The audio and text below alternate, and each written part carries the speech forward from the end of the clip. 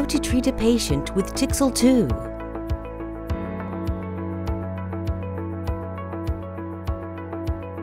Before the treatment, review the patient's skin type and condition. Check for contraindications. Explain treatment options and discuss patient preferences and expectations. Wash the treatment area with soap and disinfect the patient's skin using an antiseptic lotion. Perform a test to assess pain tolerance. Check patient's response to treatment settings. At high settings or sensitive patients, it is advisable to apply analgesic cream about 20 minutes before treatment. Marking the face with a dermatological pencil helps to better follow the treatment pattern. The treatment can be performed with low, medium, or high energy settings depending on skin type, condition, desired outcome, and patient downtime preferences.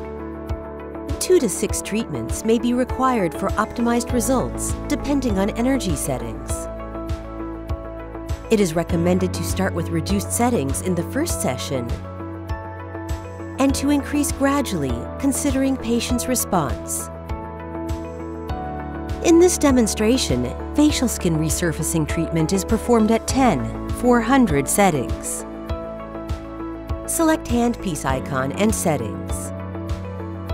Remove the facial handpiece from its cradle. Perform a test pulse in the air. Place the distance gauge flat on the skin in a perpendicular manner. Press gently to ensure good contact between skin and distance gauge. Press the trigger gently and release. Lift the handpiece and move it to the adjacent site and reactivate the trigger. The pulse rate is typically one pulse per second. Flatten the skin gently when necessary to prevent skin from bulging into the distance gauge it is recommended to work in a crisscross mode on deeply wrinkled segments.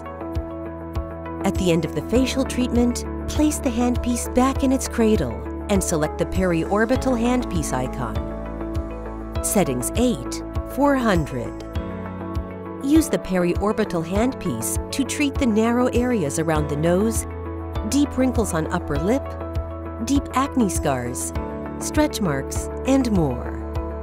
Once done, place handpiece in its cradle and select the cleaning icon to start cooling down the handpieces.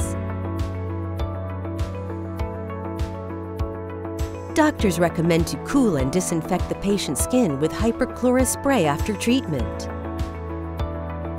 When dry, apply Cetaphil moisturizing lotion or similar.